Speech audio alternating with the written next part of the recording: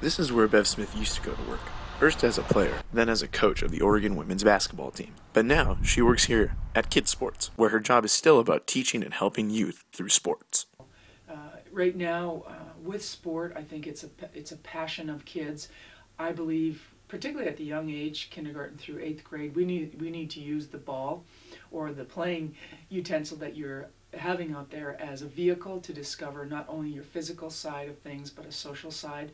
So I'm a big believer that sports and movement and activity is a healthy part of everyone's education.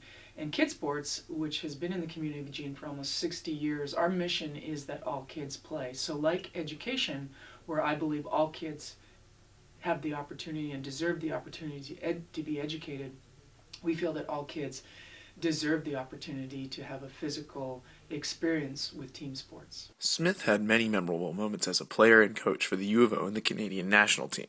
She may not be on the sidelines, but she is making sure every kid in the Emerald Valley has a chance to play, grow, and learn.